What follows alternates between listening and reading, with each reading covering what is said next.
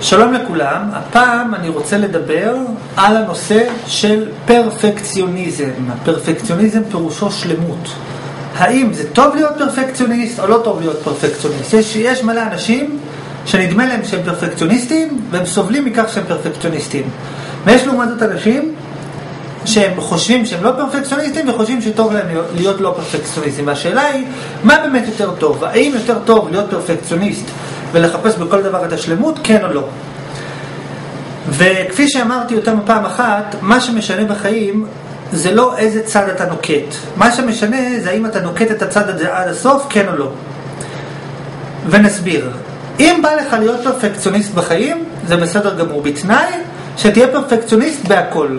ואם לא בא לך להיות פרפקציוניסט בחיים, כי יש גם כן אנשים, ש... כמו שיש אנשים שסובלים מכך שהם פרפקציוניסטים, יש גם אנשים שסובלים מכך שהם לא מסוגלים לעשות שום דבר בצורה מושלמת. הוא אומר, אני מתחיל ולא מסוגל לסיים, מתחיל ולא מסוגל לסיים. זה נקרא שאין לו את הפרפקציוניסטיות, אין לו את היכולת לעשות דברים בצורה שלמה. והרעיון הוא שאם בא לך להיות פרפקציוניסט, תהיה פרפקציוניסט. בא לך לא להיות פרפקציוניסט, גם זה טוב. העיקר שתעשה את זה בשלמות. מה זה אומר בפועל? ונסביר, בן אדם ומצד האמת, אלף ומצד האמת, מי שרוצה את האמת האמיתית, כל בני האדם בעולם, תמיד, בכל שלב ושלב, גם הבן אדם שנדמה לו שהוא פרפקציוניסט בהכל, וגם האדם שנדמה לו שהוא אף פעם לא פרפקציוניסט, שניהם יש בהם את שני, את שני הצדדים, ונסביר.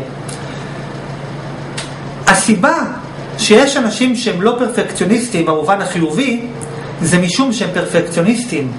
כי האדם אומר, אני רוצה להיות מאושר, ואם אני אהיה פרפקציוניסט בעבודה שלי, זה לא יעשה אותי מאושר, כי אני תמיד אהיה אובססיבי ואני תמיד אלחץ ואני אף לא אהיה מרוצה. ולכן, בגלל שאני פרפקציוניסט להרגיש טוב, לכן אני לא אהיה פרפקציוניסט בעבודה, לדוגמה.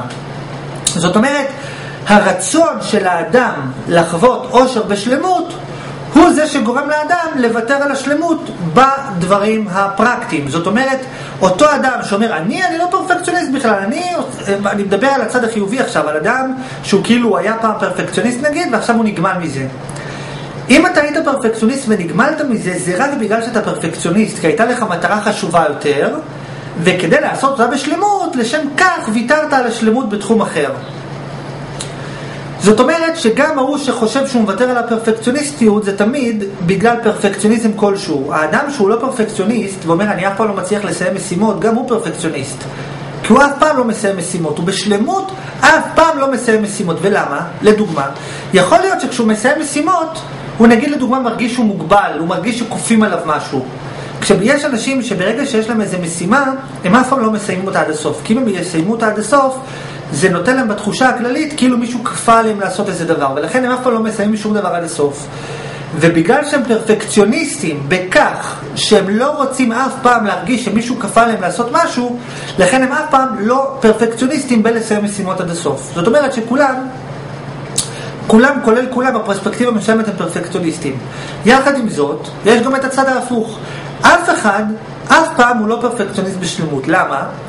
כי כל דבר ודבר בעולם יש בו חיסרון. כל דבר ודבר, לא משנה מאיזה סוג, בכל דבר ודבר יש בעולם חיסרון. אם אתה עושה דבר אחד, זה אומר שבאותו זמן את המשאבים שלך בזבזת ולא עשית דבר אחר. בן אדם אומר, נכון, אני לא יכול לעשות דבר אחר, אוקיי, אבל תבין שאתה לא פרפקציוניסט. כי הפרפקציוניסט היה עושה את הכל בו זמנית, למרות שזה נשמע בלתי אפשרי, אבל כעיקרון, בחשיבה הכללית, כל דבר ודבר שאתה עושה בעולם הוא אף פעם לא מושלם, כי כל מה שאתה עושה תמיד יכול להיות יותר טוב. ולכן אתה אף פעם לעולם לא יכול להיות פרפקציוניסט בשלמות. והרעיון הכללי הוא, אוקיי, אז מה בעצם הבנו? הבנו שגם בן אדם שהוא אף פעם לא פרפקציוניסט והוא לא מסיים אף פעם את המשימות, זה בגלל שהוא פרפקציוניסט. הוא מתמיד בכך שהוא לא מתמיד.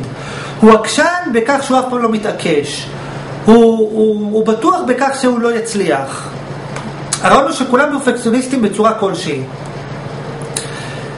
ומה שאני בעצם בא להגיד, שבן אדם צריך לנקוט צד. אתה רוצה להיות פרפקציוניסט, אין בעיה, לך עד הסוף. אתה לא רוצה להיות פרפקציוניסט, אל תלך עד הסוף. עכשיו, בן אדם אומר, אוקיי, לא, אני לפעמים יש דברים שאני כן רוצה להיות פרפקציוניסט, ויש דברים שאני לא רוצה להיות פרפקציוניסט. גם זה בסדר גמור, אבל שיהיה לך ברור גבול. זאת אומרת, שיהיה ברור לך במה אתה הולך עד הסוף ובמה אתה לא הולך עד הסוף. כי הצרה מתחילה כשיש את הספקות. כשבן אדם לא בטוח אם הוא צריך לעשות את זה יותר טוב או לא, אז מתחיל הצרה. אבל אם האדם היה בטוח בדבר הזה והזה אני הולך עד הסוף, בדבר הזה והזה אני לא הולך עד הסוף, אז האדם היה רגוע. הצרה מתחילה רק כשיש את הדואליות, כשיש את הנפרדות, שהאדם, זאת אומרת, האדם לא חייב להיות פרפקציוניסט בהכל, והוא גם לא חייב להיות פרפקציוניסט לא בהכל. אבל חייב שיהיה לו ברור מה האמת. האם אני הולך בדבר הזה עד הסוף? כן או לא? ואיפה הקו האדום שלי? הצרה מתחילה שלא יודעים איפה הקו האדום. כשאתה מציב קו אדום, וכל, או קו ירוק, ואתה כל פעם מזגזג, אתה פעם הולך אחריו, פעם לא הולך אחריו, כל פעם יש, יש זיגזגים. והבן אדם צריך להיות פרפקציוניסט בדבר אחד. מי שרוצה את האמת, בן אדם צריך להיות פרפקציוניסט בדבר אחד. בזה שהוא הולך עד הסוף. ואני אחדד את זה עכשיו בהפוך על הפוך. מי שרוצה לא להיות פרפקציוניסט בשום דבר, גם זה טוב, אבל אל תהיה פרפקציוניסט בשום דבר. אבל אם, כי, אם לא, כי אם לא תחפש את השלמות בשום דבר, אתה גם כן תהיה מאושר. כי למה האדם סובל תמיד? כי הוא אומר, יש יותר טוב, יש יותר טוב, יש יותר טוב. אבל אם היית אומר, אני לא מחפש את השלמות. אז אם באמת לא היית מחפש את השלמות, ממילא תמיד היית חווה שלמות. העיקר שזה יהיה באמת. זאת אומרת, אם בן אדם באמת ובלב שלם יגיד, אני לא מחפש שלמות, גם אז הוא, גם אז הוא יחווה שלמות. כי של... הבעיה היא, זה לא שאין לך שלמות, הבעיה היא שאתה רוצה את השלמות ואין לך אותה, אבל אם אתה תגיד, אבל אם אתה בשלמות תגיד אני לא רוצה שלמות, גם אז אתה תחווה את השלמות כמו מישהו שיש לו שלמות, כי זה אותו דבר, תמיד בקצוות זה נפגש. ואם אתה כן רוצה להיות פרפקציוניסט, תהיה פרפקציוניסט עד הסוף. ומה? בדברים החשובים באמת. בן אדם צריך לבדוק לעצמו מה הדבר הכי חשוב לי בחיים. מהו אותו דבר? בן אדם צריך למצוא לעצמו דבר אחד בחיים שבו הוא יהיה פרפקציוניסט עד הסוף. במה? במה? אני חושב בנושא של אושר. תהיה פרפקציוניסט בנושא של האושר. הדבר הכי חשוב בחיים זה שתהיה מאושר, שתהיה פרפקציוניסט בזה.